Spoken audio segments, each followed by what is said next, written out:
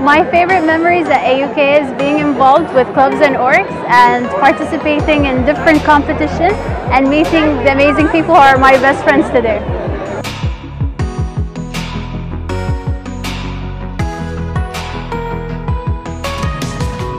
My favorite memory at AUK is the Hope Club and what we accomplished in this club and every single event we did.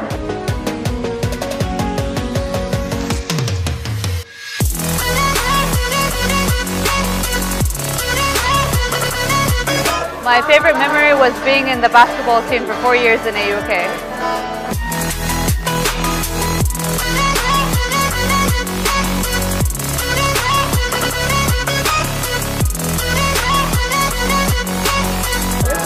I'm here because AUK is a very important part of my life. It always has been, it still continues to be, and it's important that I attend every alumni reunion and get to meet previous colleagues.